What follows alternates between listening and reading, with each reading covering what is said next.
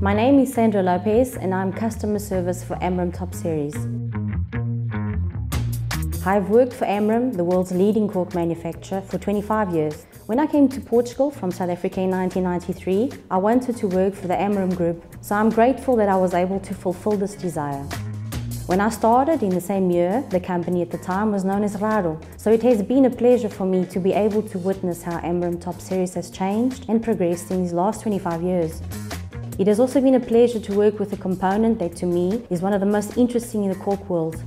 Customer service is about creating a relationship of trust and loyalty with customers. It is about meeting the needs and desires of any customer, having a direct contact with the client, being able to assist them before, during and after the requirements, or in other words, being helpful is very gratifying. I take this duty on with a great sense of responsibility because at the end of the day, it is how you make people feel that matters the most by understanding their needs and wants.